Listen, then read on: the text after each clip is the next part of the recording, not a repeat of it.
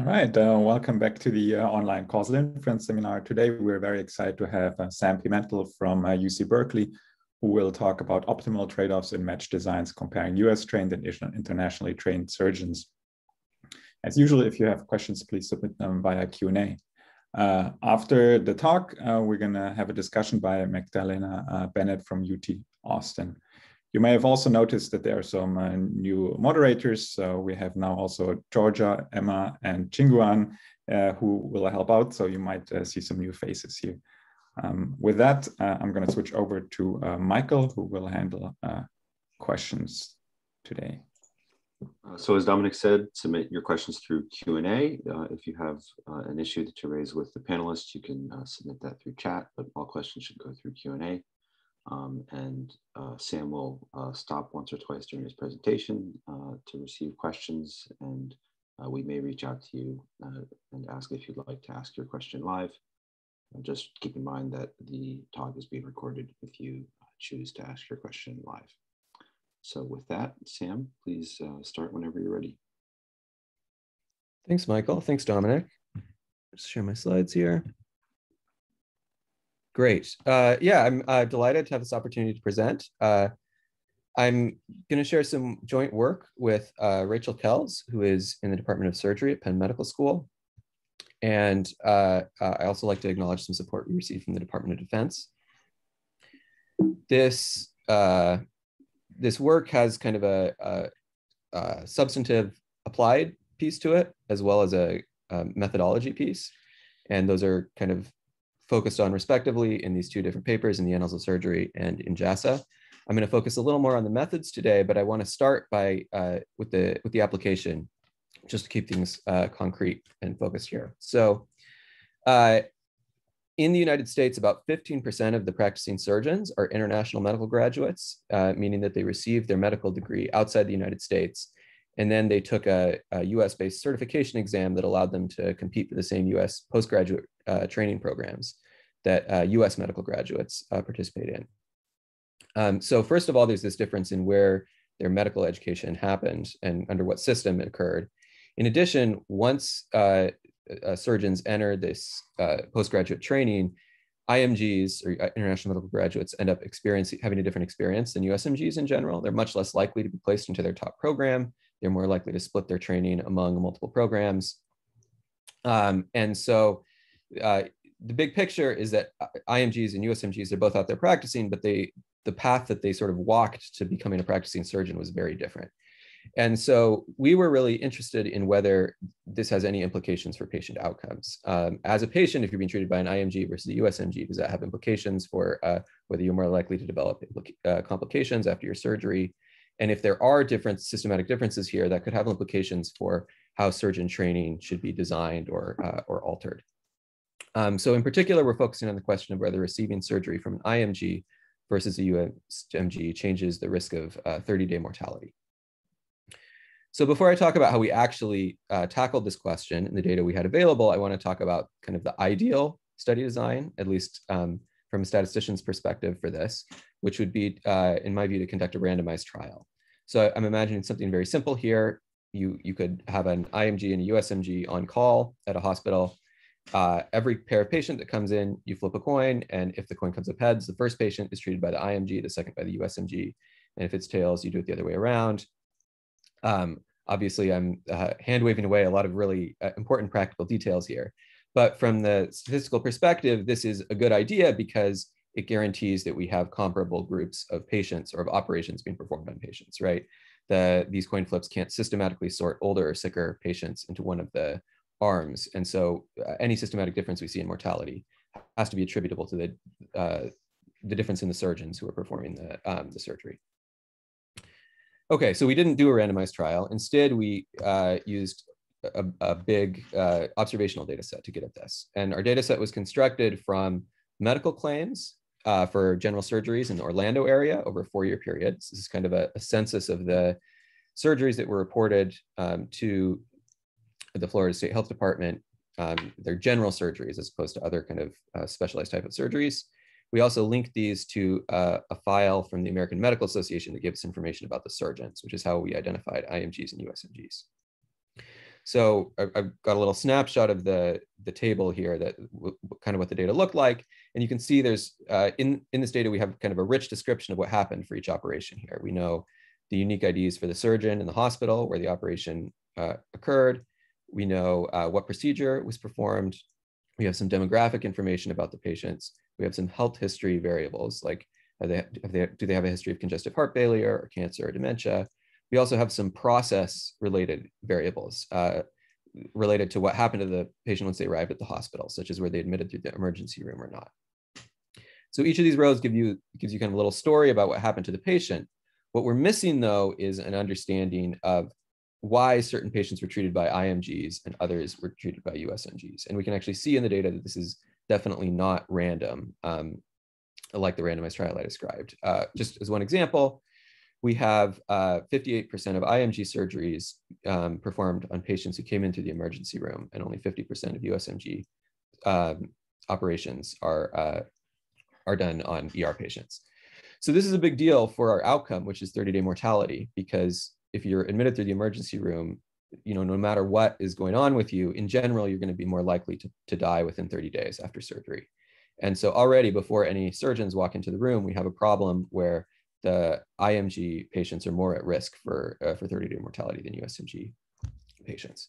This is just one of several different um, differences we saw between the, the groups, uh, but one of the more worrying ones. So we need some way to remove this confounding um, in order to measure something close to the true causal effect.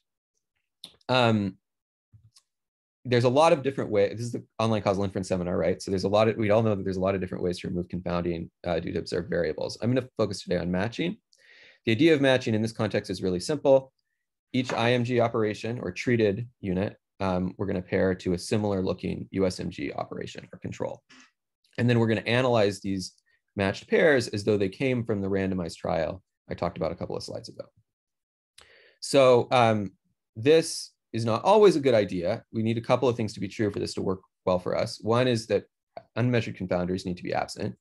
And I'll come back to this assumption and ways we can think about relaxing it at the end of the talk. The other thing that we need is we need for these pairs to be, uh, you know, uh, ref reflect important degrees of similarity between the patients.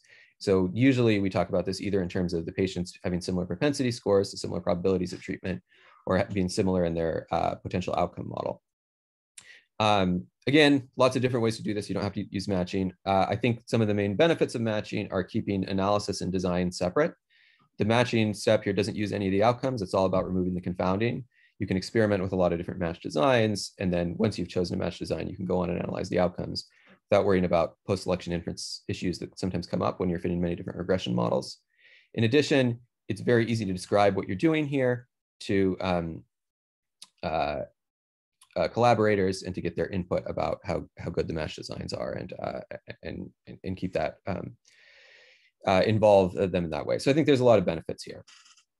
Uh, the challenge with matching is when you're sitting down to run a match design like this is figuring out what exactly should go into forming these pairs. Usually you're solving some kind of optimization problem here. You have to decide what, what's my objective function? What, what do I care about in, in order to construct the best set of pairs? And there's actually a lot of debate about this within the literature on matching.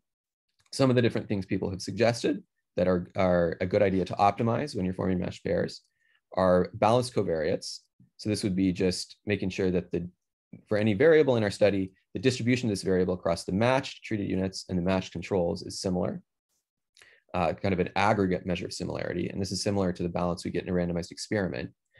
A related but somewhat distinct goal is having close pairs so this means not just um, caring about the histogram of a particular variable being similar between the match treated and the match control groups, but it actually means every time you look at an individual pair, you want those two individuals to be close on this variable. So if you can match uh, really closely all the time, then you, you, generally get marginal balance as well, although that's not a 100% guarantee. Um, this has slightly different motivations. It, uh, uh, in particular, if you match really closely on pairs, you tend to get much more homogeneous responses and uh, reduce sensitivity to bias. And then of course, there's other things you care about with these match pairs, right? Like getting a lot of them. If you have a very small match sample, you may not have power to detect anything. You may, and if you've thrown away most of say the IMG operations in our study, it may be hard to know what effect you're measuring or to, to, to generalize or interpret your results in a meaningful way. So there's sort of, you can find uh, papers that talk about all of these different goals and that develop matching methods around them. Usually the, most of the off the shelf methods kind of focus on one of these things as the primary objective and optimize it as well as possible. And then they may pay some attention to the other goals in some kind of lower priority uh, way. Uh, so just as an example, optimal propensity score matching, which is maybe the most common thing you see done out there. Uh, this prioritizes having a large match sample. Um, so you keep all of the treated units no matter what. And then subject to this, you match uh, people as closely as possible on an estimated propensity score. And there's actually no direct attention paid to balance, except, you know, to the degree close pairing, pairing induces balance. So each of these methods uh, is, is fine on its own and has, has some kind of justification. But the problem is you end up with very different looking matches depending on which of these things you pick as your primary goal. And sometimes all of the different off the shelf things are unsatisfactory for one reason or another. And this is kind of what we ran into in the IMG USMG match. We had a variable that was really challenging to balance surgical experience. So it turned out 25% of IMG operations were performed by a surgeon with 30 or more years of experience and only about 4% of USMG operations in our data set were. This is a big problem because we want really want the study to identify impacts of medical education rather than um, uh, differences in surgeon experience, which could also be related to outcomes. So we want to make sure that we're balancing this variable well in our study. Unfortunately, the off-the-shelf things we tried didn't really work. Um, we tried a method called sparse optimal matching, which keeps uh, as much of the treated group as possible and then works on balance subject to that. We had a large sample here, but the balance wasn't very good. Um, we also tried matching exactly on experience. I believe this is uh, on you know deciles of experience. So it wasn't even exact on how many years of experience you'd had.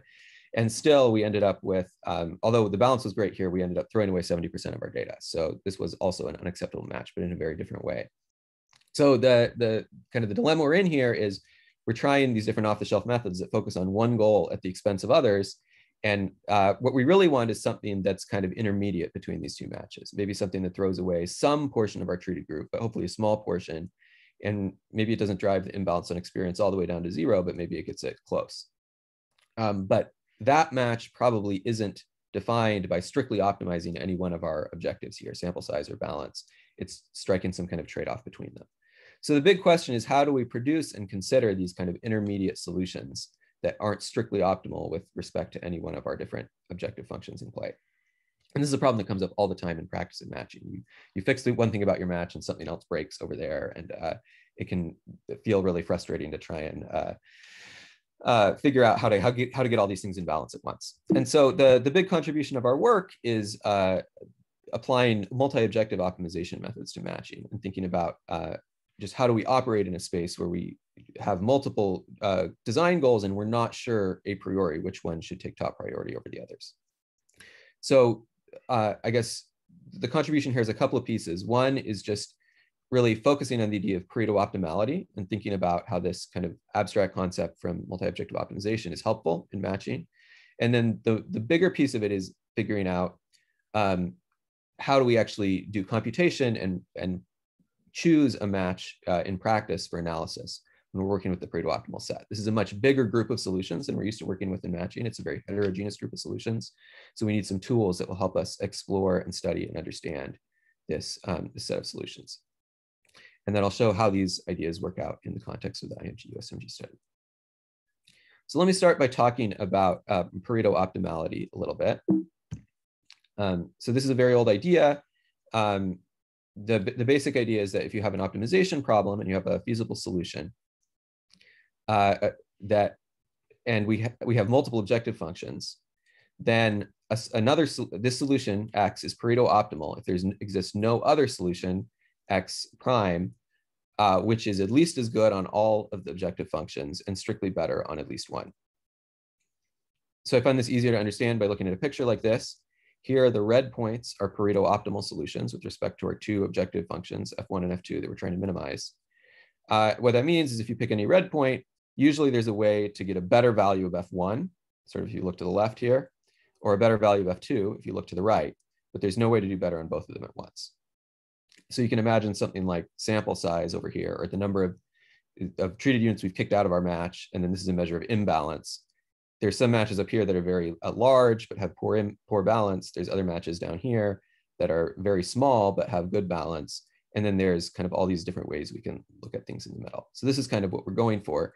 And intuitively, if I told you I cared about balance and sample size, but I wasn't willing to put any a priori weighting on which was more important, this would sort of be a natural group of solutions to look at. So that's kind of the motivation for why Pareto optimality is, is important to us. There's been a few other works that have explored this idea in the context of matching before, in particular this 2012 paper by Rosenbaum and this 2017 paper by King and co-authors. These uh, papers give nice tools at, uh, for very specific situations. So in particular, the, the Rosenbaum paper looks at um, the specific trade-off between having a large match and having close uh, covariate distances. The King paper looks at the trade-off between match sample size and covariate imbalance and uh, is focused on the case of matching with replacement, where you allow the same control units to be used across different match sets. What we're trying to do is just generalize these ideas. Our framework subsumes both these methods as special cases, although um, we don't make this matching with replacement part requirement. So the King method is a little, uh, it has some, uh, you know, computational advantages because it's in this special sort of especially tractable case. Um, but the basic idea of what we're doing is we're, we're, we're going a little more abstract and we're trying not only to think about um, uh, you know, different kinds of matching, but also uh, different objective functions and to be very general about what kind of objective functions we're considering. Um, so I guess to, to talk about what we did specifically, I need to go into the details of minimum cost network flow optimization, which is the general way that we're thinking about matching. But before I do that, maybe I will pause for some questions. Sure, we have one question. Uh, it reads, do you have covariates for the surgeons? Yeah, that's a great question. So I guess um, uh, in particular, I mentioned surgeon experience uh, is one. Um, I think that's the main one we're using here. Um, you know, I actually, I, I, I, take that back. We also had a surgeon volume variable. So surgeon experience is how many years they've been practicing. Surgeon volume is how many uh, operations have they performed over, and I believe that's over kind of a, uh, a two-year period or something. Um, I don't remember if that's in the data or prior to the data. I think those are the only two we ended up using um, because the, the master file didn't have a lot of more granular data. But uh, uh, that would be interesting if we, we've been able to obtain more, more surgeon covariates. Okay, great. Um, maybe you can move on. Okay, yeah. All right, so I mentioned minimum cost network flow optimization. This is sort of the abstract way we'll be thinking about matching problems in order to be really general about what we say about them. So minimum cost network flow optimization is a, an old problem in operations research. The idea is you have a graph, you have uh, nodes and edges. Certain nodes, a, a, commodity of some kind is being produced. And at other nodes, there's a demand for this commodity to be delivered. You can send the commodity over the edges, but each edge has an upper bound about how much it can carry. And it also has a cost per unit flow you send over it. So the optimization problem is just find the cheapest way to send all the flow from the source nodes to the sink nodes. And you, so you're choosing these decision variables on the edges, which say how much a commodity is passing through. Um, mathematically, it just looks like this. We have a linear objective function and a constraint set.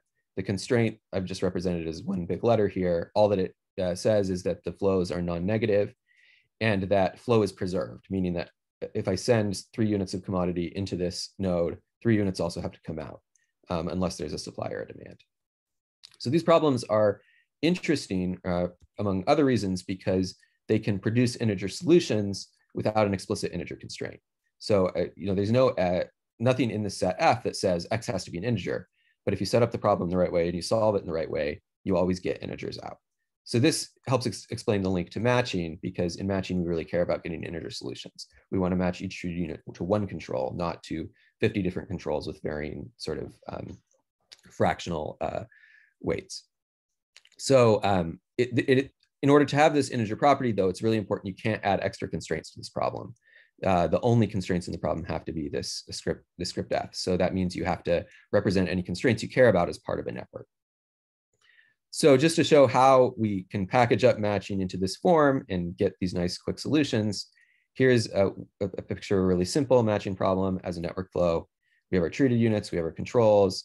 Here, the only thing we really care about, other than keeping all the treated units, is having close pairs. And so we'll put a cost on each of these treated control edges related to how similar those units are on the covariates, maybe a Mahalanobis distance or a propensity score or something.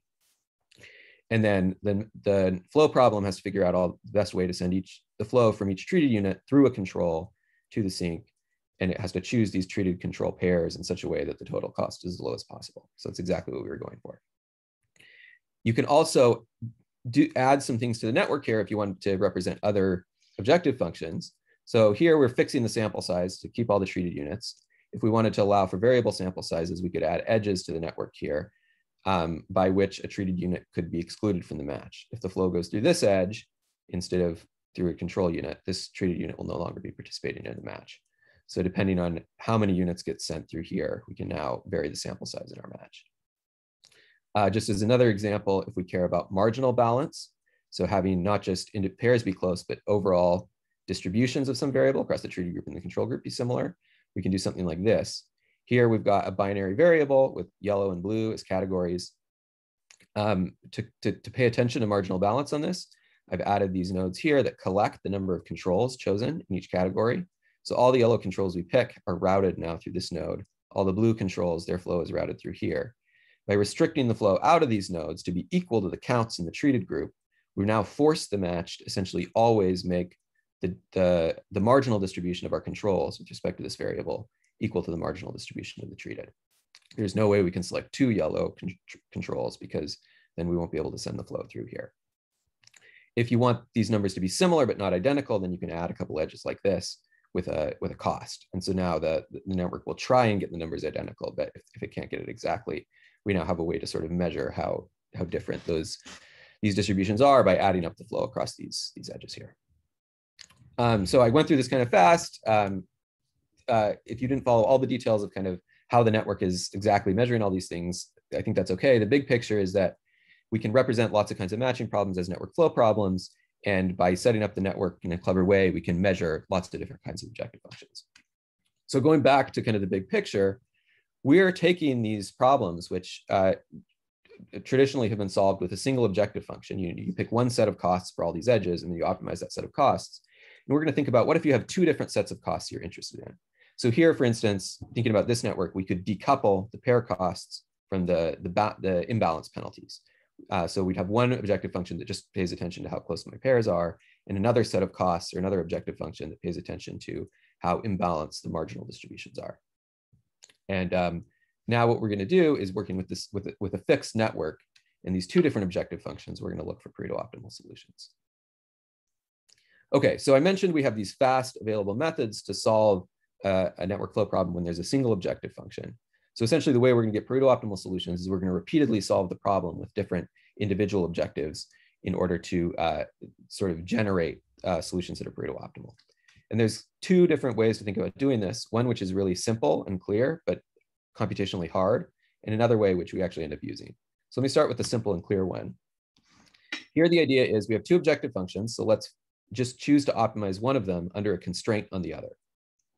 So again, working with this, uh, say we this uh, objective function is sample size or how many treated units we're kicking out of the match.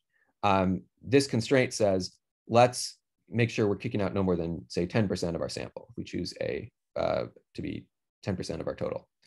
Then what this problem is asking for is to find me the best balance I can subject to losing no more than 10% of my sample. And if we choose A to be 20% instead, then it's finding the best balance subject to losing no more than 20% of the sample. And you know, it, it, turns out that this problem will always produce a Pareto optimal solution. And if you solve for enough different values of A, then you get the full Pareto optimal set. So that's great. Um, and this kind of makes sense if you think about that picture I drew at the beginning, which where we had a curve of the Pareto optimal points that kind of look like this. Here, what we're doing is we're drawing a line through that curve. We're moving that line up and down, and we're kind of finding the points of intersection. So it makes sense that we'd sort of be able to map out this curve. The problem with this is that the problem itself is not very tractable what we have is a network problem with a network constraint, but then we've added on this side linear constraint. And that means if we want integer solutions, we're actually going to have to use an explicit integer constraint in integer programming methods. And that's going to be bad for computation, especially in large problems like the IMG USMG study. So here's a, uh, kind of a hack we can use to get around that. And this is instead of constraining one of the uh, objective functions, we'll just penalize it and put it right in the main objective function. Um, so this, of course, is a very common trick in optimization, right? What's nice about this is we get it back to being a regular network problem now. This is something that we can solve quickly and solve repeatedly. In other ways, I think this problem's a little less satisfying. In particular, I don't really like this penalty parameter rho as some, it's not as interpretable as this value A. you know, if I'm working with a collaborator, it's really easy to explain what I'm doing when I impose this constraint A. It means where it's going to control exactly how much of the sample we can lose, and it's it's on an interpretable scale.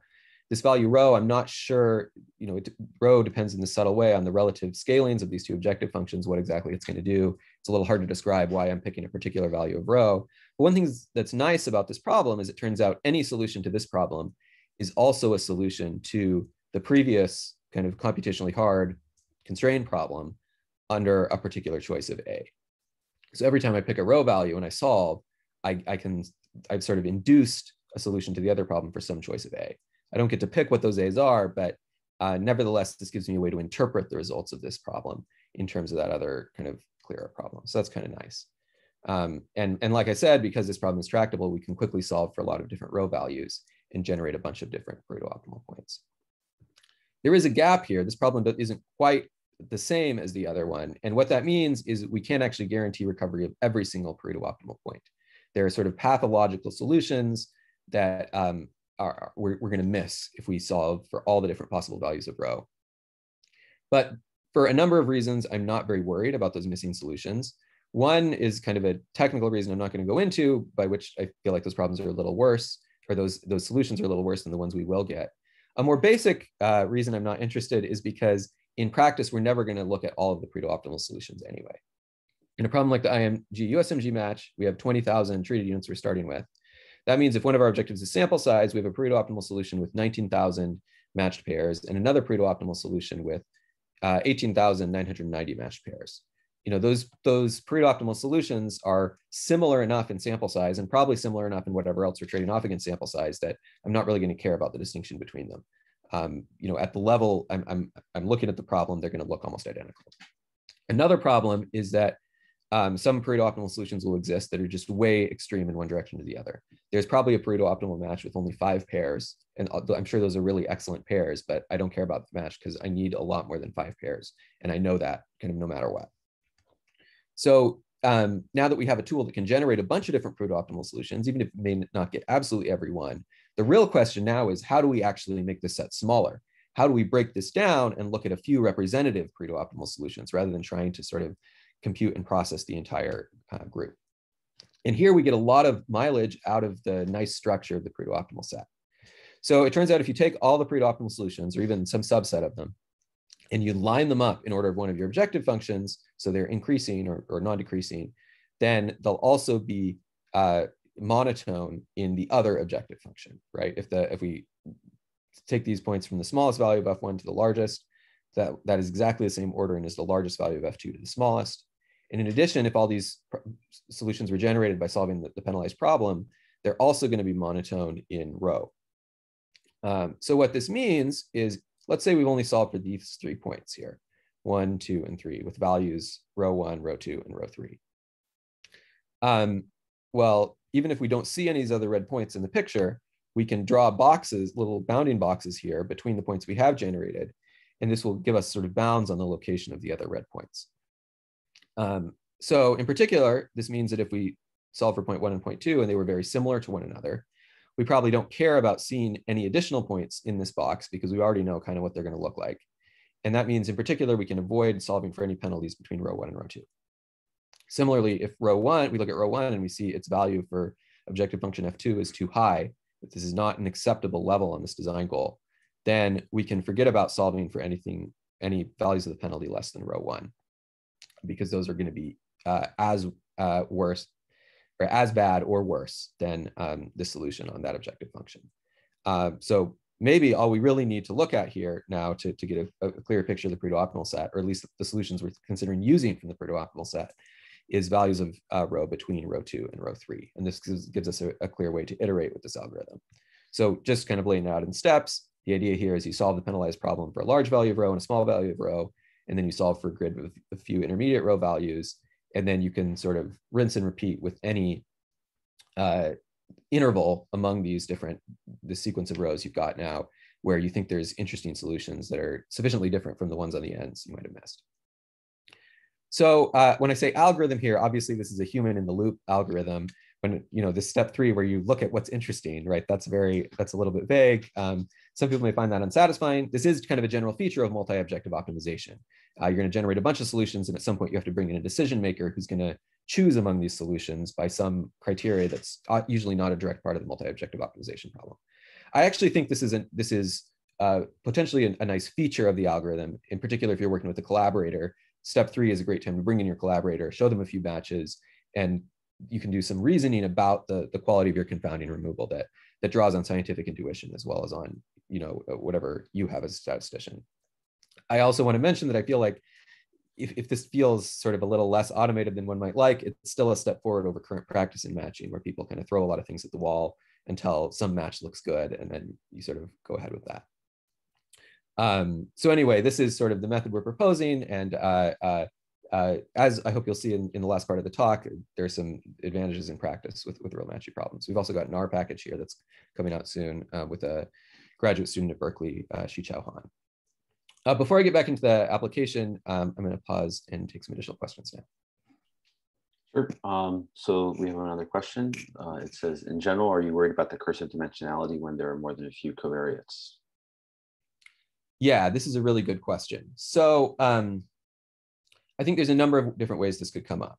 So one um, possibility, right, is if you're thinking about balance on each covariate, say, or similarity in the pairwise distance on each covariate, then actually, you know, I've been focusing in, in my presentation so far on having two objective functions. And here you could, for instance, have, you know, K or a very large number of objective functions. That is a problem that is very hard to solve. Um, uh, base, the short answer is Pareto optimality still works fine for this in the abstract, you can still think about this Pareto optimal set.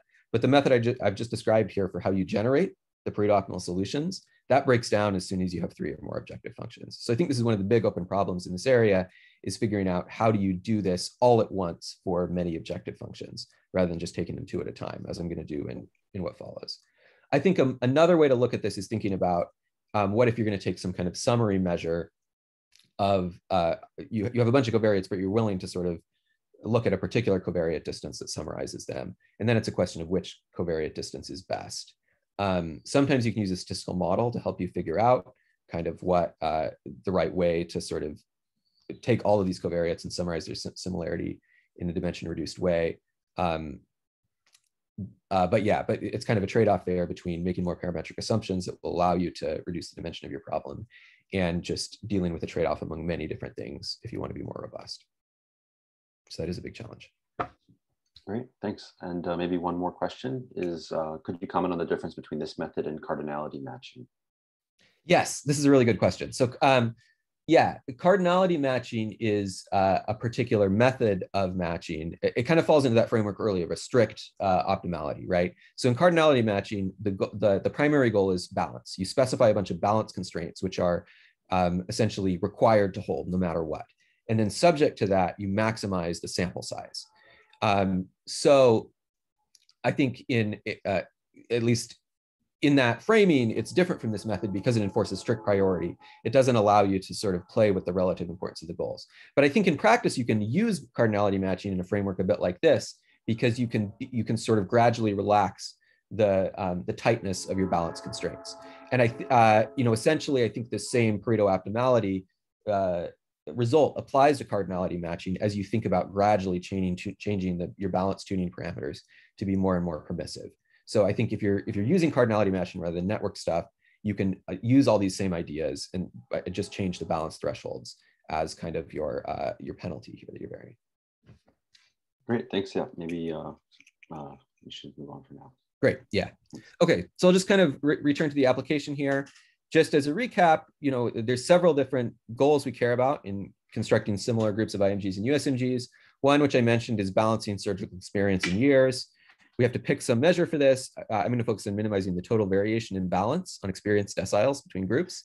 This has the advantage of turning this into a, a nominal variable, which works well with network methods. Another thing we care about is having pairs of patients that are similar in their risk for 30-day mortality.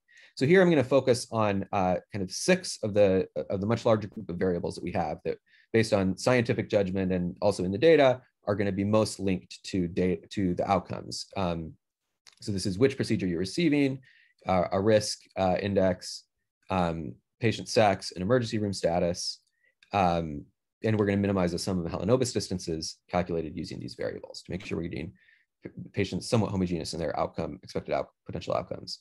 Then finally, we want to retain as many IMG operations as possible. Uh, and this a big reason for this is generalizability. We'd like to make some broader statement about the kinds of uh, what, you know, defects that are present for the kinds of patients that tend to be treated by IMGs. So basically, I'm going to build a network that represents all of these different things in different parts of the network structure, sort of putting together a few of those networks I showed you earlier. And then I'm going to look at trade-offs between these goals two at a time. First of all, we're going to try and keep the sample size large, and we're going to try and reduce, uh, you know, give up a little bit in terms of how close the pairs are to try and improve balance. And then uh, after that, we'll look at actually reducing our sample size in order to improve balance a bit. So here's a table that summarizes the trade-off for the, close pairing versus balance. Here, each column represents a different match that was produced by the penalized problem. And the row value here at the top gives the penalty used to produce it. You can see the objective functions changing here. Uh, you know, this one is going up as we reduce attention to pair distances and increase attention to balance by increasing the penalty. Um, down here at the bottom of the table, these are sort of more interpretable versions of these uh, or closely related quantities to these objective functions. This gives the rate of exact matching on our prognostic variables that went into the Mahalanobis distance. And this gives a standardized difference on experience. So the big picture here, uh, you know, unsurprisingly, these numbers are going down slightly. The imbalance is also going down.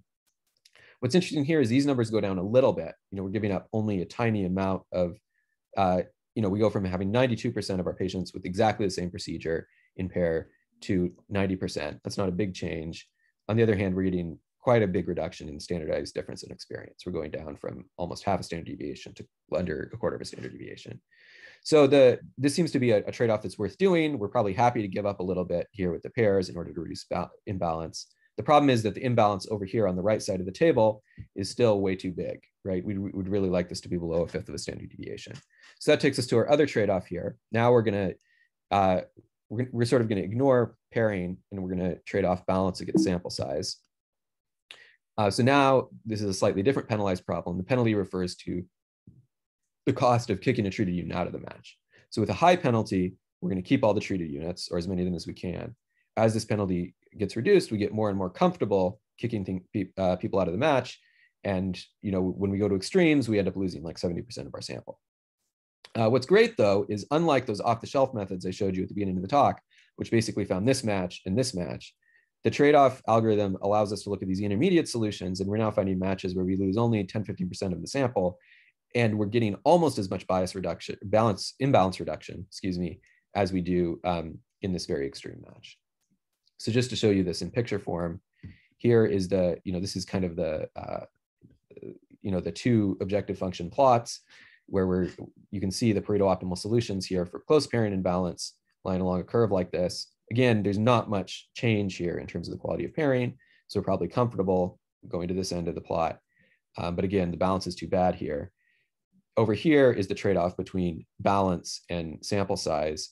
And here you can see with those extreme solutions, which are unsatisfactory, but we're also able to recover this nice group of solutions down here, which really kind of do what we were hoping to do from the beginning. So this is kind of a nice win for our method it gives us a, a bunch of matches here, which are uh, significantly better in terms of the, the overall profile of what we care about than the one here and the one here.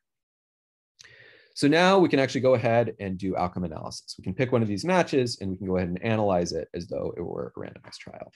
Um, you know, these, again, these matches are very similar to one another. It probably doesn't matter uh, a ton which of these exactly we pick. We chose match K um, which is one of these matches. It has 16,419 match pairs. So that's a nice big sample size.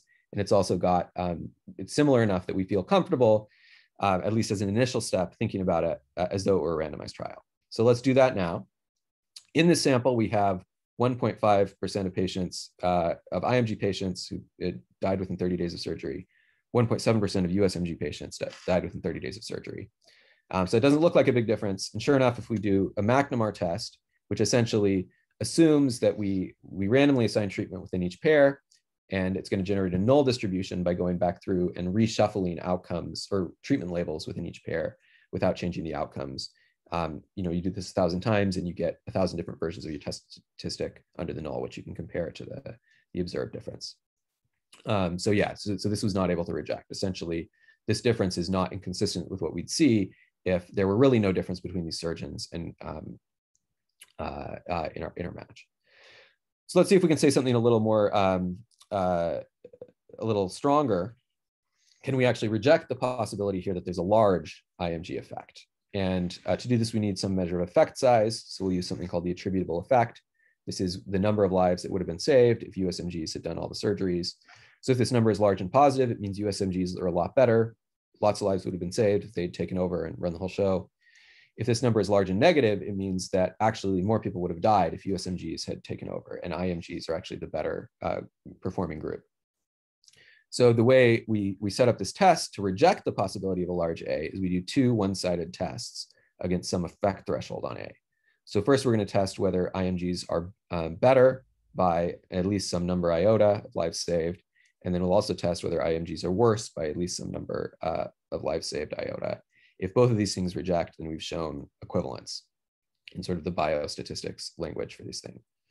Um, so we chose a value of iota. Um, somewhat arbitrarily as a change in the uh, age 75 mortality rate, uh, or one fourth the uh, the age 75 mortality rate, which corresponded to about a 1% difference in 30 day mortality. So we're going to try and reject the possibility that there's a difference of more than 1% mortality in either direction. Um, and we're able to do that. If we rerun the McNemar test with the, you know, altered for these different hypotheses, then um, we're able to reject both the possibility that IMGs are better by 1% in mortality rate and are worse by 1% mortality rate.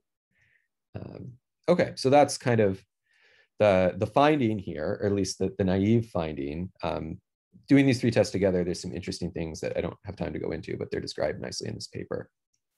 Um, the, the last thing I do want to comment about this analysis is to go back to this question of unobserved confounding. So uh, every all the work I've been doing in this talk is all about um, essentially observed confounders, right? We, we observed all these variables. There's all of these different metrics we've defined in terms of these observed variables that we're trying to trade off one another to make the match as, as nice as possible. We've given no attention whatsoever to observe, unobserved confounders. And if they're present, all of this analysis framework I've just used on the last two slides falls apart because the McNemar test is based on the idea that people in matched pairs are equally likely to receive treatment.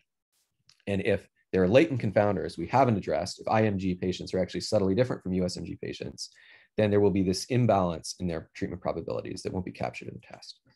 What we can do here is a sensitivity analysis. So we can say, what if the true probabilities of treatment within matched pairs actually differed by some factor gamma uh, on the odds scale? Uh, if gamma equals to one, then we're saying that probabilities are equal. That's basically the test we've just done. But for gamma larger than one, we'll allow some some degree of unmeasured bias to creep in. And using methods uh, due to Rosenbaum, we can calculate the worst case p-value over this family of distributions. So basically, um, under all of the different possible choices for you know um, permutation probabilities within our pairs, if we choose the worst one in each pair, the one that will make our p-value as large as possible, then are we still able to reject the null or not?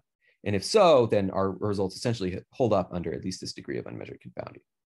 So in particular, we're going to repeat this procedure for larger and larger values of gamma and report the value, the, the breakdown point where um, the value of gamma for which our, our results are reversed. So again, thinking about the specific context of our study, the kind of bias we're worried about here, because we have an equivalence result, is that there is a large effect, but a bias masked it. So one version of this would be maybe the IMGs really are better surgeons, um, but they're treating patients that are work that are more at risk or more likely to die due to some unobserved way. So is it possible um, that there's actually a large uh, difference in performance and it's been hidden by a large bias? We're going to repeatedly test all three of our hypotheses at higher and higher values of gamma, as I've just described. When we do this, we find that um, you know, the specific number in, on the gamma scale here where things break down is 1.8. And the test that's most sensitive is the test that uh, is the result that um, the IMGs are not much better. Um, this is the test that stops rejecting at gamma equals 1.8. So what does this mean? Gamma equals 1.8 is then interpretable. It basically means that we, um, in, in order for our study results to be wrong, sort of the most, uh, uh, the weakest point in our analysis here is the possibility that actually IMGs are better. And there's an unobserved confounder of um, that both increases the odds of treatment by an IMG by fivefold and simultaneously multiplies the odds of death by 2.5. So if this were the case, then it could be that our results are wrong and IMGs are actually better by at least 1% in mortality rate. So, you know, this, this isn't sort of a definitive statement. Um, such a confounder could exist, right? It's unobserved, we don't know, but at least it puts some, uh, you know, if someone's going to come in and criticize our study, they have to come up with a confounder that at least sort of meet, meets this profile that's extremely highly related to your likelihood of being treated by an IMG. And that also is pretty um, highly predictive of, or, or, is a major risk factor for 30-day uh, mortality. Okay, so that's essentially it. Um, just in closing, I want to comment on a few of the sort of uh, implications on the method side. And some of the questions actually have touched on a number of these already. So one point is that these penalized and directly constrained problems I've introduced are not at all new. I mean, if you're familiar with the optimal matching literature, you've seen various uh, kind of uh, approaches like this proposed, where people can put a constraint on some uh, balance metrics or other things and, and optimize uh, a different goal, or they use some penalty approach to, uh, to take a linear combination of several goals. I think uh, kind of as I alluded to when discussing cardinality matching, I think the real contribution here isn't the problem itself, but sort of a shared framework for thinking about solving uh, re repeated solutions of this problem under different values of the tuning parameters. I think um, if you if you are, are, thinking about all of the solutions you're running as you're repeatedly doing matches as part of this shared framework of exploring the Pareto optimal set, I think that adds some very useful structure and helps you be more systematic about finding the best possible match. And again, I think that applies very widely across matching methods, even not just the network flow methods here. Um, I also mentioned multidimensional trade-offs. The theory is straightforward. The practical exploration of the space of solutions is not. I think that's a big thing we need to figure out to, to make this method really good. Uh, the final thing that I think is potentially interesting here is right now I've just sort of handed you this, the Pareto optimal solution set and say, you know, look at them and pick one that looks good ideally, I think if you if you had a strong statistical model for your problem, the statistical model could provide a lot of guidance about how exactly to strike this trade-off. What is the relative importance of balance and sample size? Uh, and you know, there are a lot of approaches out there where people have used this a priori to pick an objective function. But I think uh, looking at all of your options and sort of doing this post hoc, there may be some advantages to that. And that's something I'm looking forward to exploring. But I'm out of time, so I will stop there. Thanks very much. All right, thank you very much for the very nice talk, Sam. Uh, we're now switching over to the discussion. So we'll have uh, Magdalena uh, present some slides, and after that, uh, Sam will be able to respond. Also, we'll take some more questions if we have time left after that. Okay, Magdalena, whenever you're ready. Sorry, let me just sure put that there. Oh, where's my? Oh, Great. Great. So um, thank you very much. I really enjoyed uh, reading this paper, and I think that uh, Sam's presentation made made it like very clear. I'm gonna just skim over kind of the the summary and the main take takeaway points that I got from this and just discuss a little bit my uh, some of the, the questions and, and comments I had while reading uh, this paper. So I think this paper is particularly interesting because it tackles this big question on um, how do we actually match? And, and that's a huge kind of uh, question in, in this kind of literature. And a lot of the times we kind of don't necessarily focus on the optimality of balancing these different uh, goals. So as uh, Sam presented here, there's a lot of different things that we want to do while matching. And a lot of the times, these uh, different objectives are kind of at odds with one another. And we tend to solve them, I think, uh, most commonly in a suboptimal way. So sometimes we want to balance covariance distributions, but at the same time, we want to maximize our sample size to um, get more power, for instance, for a test. And of course, we also want to minimize distance within pairs a lot of the times to also, for instance, um, increase efficiency and also minimize the sensitivity to um, hidden biases, right? So I think that what this paper does really well is kind of show how we can optimize um, two of these goals at the same uh, time and kind of be more transparent uh, on how we do this from this trade-off. So basically it touches on this optimal trade-offs in matching using the Pareto efficiency um, in this objective, um, this multi-objective function in this case. And we're going to find a class of matches that will vary the trade-off between these different objectives that we have in mind. So I think that this is also a very nice result in the sense that we can see how um, different match sets will yield um, basically these different trade-offs in a very um, straightforward way. Um, I really liked also how they showed this iterative search of the Pareto optimal solutions because it can be a very difficult problem to solve, especially if we're trying to kind of map out the, the that whole kind of boundary of distribution. And this use of the uh, highly structured um, way that the optimal sets um, are built kind of place this informative bounds to what we can actually do in practice, which I think is also something that's really important in this sense, because a lot of the times we do have great theoretical ways to do matching, but in practice, it kind of um, be unpractical um, because of computing times, for instance.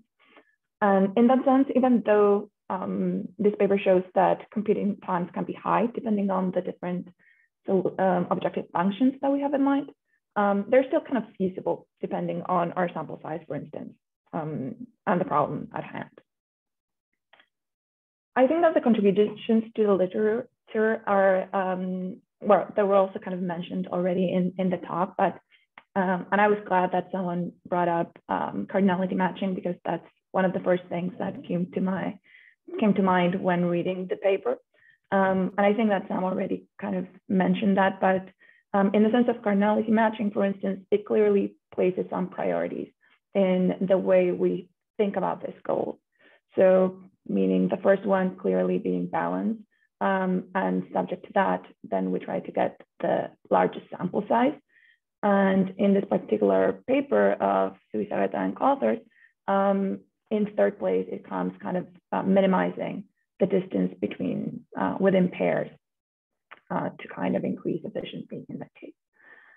Um, it also kind of adds up to uh, optimal subset matching in that case. But again, I think that the main uh, contribution is that it gives us a more general uh, framework to think about some of these things. And again, not necessarily in a particular um, object, in sort of particular objective functions like in the case of optimal subset matching, but in a more general way where we can tweak these different um, trade-offs that we want to um, that we want to work around. So um, I have some comments and questions that again might go a bit beyond the scope of this paper, but I was just curious to know what uh, Sam thought or if he had thought about some of these uh, things, particularly because I know that a lot of the time some things don't uh, end up in a paper, but because you're working on this uh, for so long, uh, some of these questions might have come um, up at some point. So one of the first things that um, I was thinking about when reading the paper was related to external validity. So uh, the paper proposes this way to maximize sample size and links it to this idea of generalizability in the sense that if we have a larger proportion of the treated units uh, matched, of course, that would yield um, greater external validity. But at some point, um, we kind of don't necessarily want the largest match sample, but also we want some sort of uh, representative um, sample to that extent.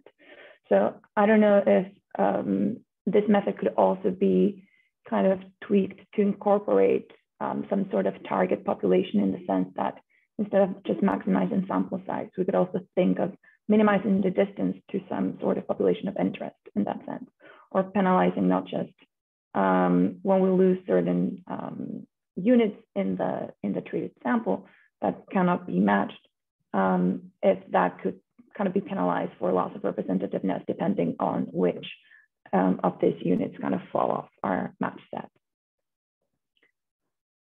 Um, one of the second things that also came to mind, and this was also because it came up um, in a paper that we had a couple of years ago with Jose Zubizarreta and also Juan Pablo Vielma, is about the running time of these sort of problems. So of course, um, with larger sample size and depending on the different objective functions, this can actually become very computationally expensive. Um, but I was also wondering whether um, some sort of projection, kind of in a similar way to mixed integer programming matching, optimization problem could provide some sort of faster computational time, particularly for the problem where we're balancing or doing the trade-off between balance and sample size, which I think that sometimes is one of the most common problems that, that we face, right? We want kind of distributional uh, covariates, and at the same time, we don't want to lose so many um, units. So in that sense, kind of move from this network flow problem uh, where we're kind of turning on and off these different edges to just simply something smaller where just uh, we're solving on whether different units in the treated um, group are included in this match set or not, and whether that can make it um, at least faster for those for that particular trade-off in that sense. Um, and finally, um, one thing that I thought that was very interesting, and again, maybe it's touching a little bit on, on what Sam mentioned at the end of this about how do we choose which um, solution we end up uh, keeping. So I think that the paper uh, mainly states that the it's kind of up to the researcher in some sense to um, to bring in collaborators and things like that, which I think that is actually good because it's a lot of times depends on the context of the problem and a lot of contextual knowledge is useful in that sort of situation. Um, but I don't know if there could be something done in that sense with the different solutions along this kind of Pareto optimal set to see whether um, or how basically the estimated effect changes depending on the researcher's discretion of the solution found. So in the sense that matching, I think does a great job separating the adjustment procedure from the estimation process, as also was previously mentioned. Um, and it's great um, because we can play around with adjustment a lot before actually committing to, to, a, to a match set. Um, I was just wondering if the fact that we find kind of, even though it's not the whole boundary, some of, uh, at least a portion of it, if that could also give us some idea on how the actual estimated effect would change if the researcher's discretion would go either one way um, or the other. Um, overall, I just found the paper like really interesting and particularly useful again um, in the sense of, of matching. I think that it clearly shows the advantages of matching as an adjustment method. And again, it also allows kind of changes in the priority of the different objective functions that we have in mind. Um, a lot of the times we do this kind of trade-off uh, very suboptimally and just um, use our own kind of knowledge or try different things but this kind of gives a very intuitive way of thinking about these um, different trade-offs. And it also, I think, helps make decisions of matching more transparent, which I think it's, it's a great um, a great contribution in that sense from this paper. And finally, I was just wondering whether this uh, setup was actually applicable to other types of optimization-based matching, such as integer programming matching, which has other advantages uh, besides network uh, flow uh, problems, because it also allows for matching on covariates a bit more flexible and directly. And some of those properties could also be um, kind of um, uh, attracted in a particular matching uh, context. And whether you think that this could kind of be um, transported to a different setting that's not necessarily uh, network flow problems exclusively. But yeah, thank you for a really great talk. And I think it was a very interesting paper and I'm looking forward to the R package actually. Uh, thank you very much for the nice discussion. Uh, Sam, do you want to quickly respond? Yeah, uh, yeah, excellent, excellent questions and, and, and points. Um, yeah, so just briefly, um, so first of all, absolutely, the uh, all the ideas here I think work for mixed integer programming matching as well. Um, basically, I just um, I I wasn't ready to write the software to do the the, the trade-offs for mixed integer programming, but the ideas uh, transfer over directly. So I think you can sort of code something up like this very much for uh, for those things. And similarly with uh, generalizability, obviously if you're moving in, in the mixed integer programming world, then there are already methods out there to do the generalized to to optimize balance to an external population, you can actually do that with, within a network flow setting as well. Essentially, in that network, I showed that in that uh, penalizes marginal imbalance. You can just define the sort of marginal imbalance target as your external population instead of the treated group, and that all works fine as well. So, so that that does work. Um, on your other points, so yeah, so so first of all, I think it would have been a really good idea in this talk to have you know, not just the one results for the one match K, but show how does this change if we go to, you know, the, the five matches on either side of it or whatever. And I do think that in practice, people are more comfortable saying, I had to pick any of these matches rather than picking one of those five matches that are similar. Unfortunately, I've lost access to the data, so I can't actually run that analysis, but I do think that that, yeah, that's a very uh, natural kind of, uh, an extra kind of sensitivity analysis you could put on the end. Um, so I think that would be really useful um, to present next time I run one of these studies. Uh, and then uh, uh, the final point, I guess, was, oh yeah, about using, about computation time.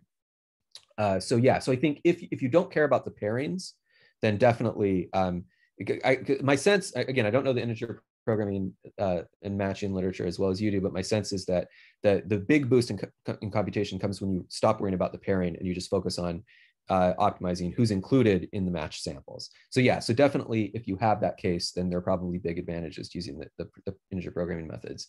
What's interesting is even in that case, the worst case complexity bounds for integer programming are worse than for network flow, but there's this sort of uh, reversal in practice where the methods are faster. So I think, yeah, you probably want to take advantage of that. The other thing I'd mention there is my understanding is a lot of the new integer programming matching methods can also do approximate solutions. And, and there you often may have strong worst case time guarantees. I think this kind of setting might be an excellent place to just be satisfied with approximate Pareto optimal solutions. You know, if you're thinking about just getting a rough sense for what the Pareto optimal set looks like, then probably somewhat approximate solutions are fine. And you can always then go back at the end once you've decided on which group of matches you care about and refine them um, towards optimality. So I think the new tools in the kind of mixed integer programming world of matching and the, the, the design match package in particular um, I think uh, would really pair really nicely with these, these ideas. All right, uh, thank you so much. I think it's now time to uh, slowly wrap up. So first of all, thank you so much, uh, Sam, for a very nice uh, talk and Magdalena for a very interesting discussion. And next time we're gonna have Isaiah Andrews from Harvard University who will talk about inference on winners. Thank you all for joining today. Hope you have a great week and uh, see you next time.